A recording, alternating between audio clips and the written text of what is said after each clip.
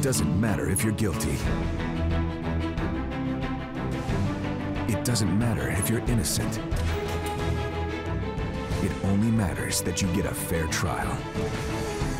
I would have been murdered 10 years ago, easily, and the state wouldn't have batted an eye.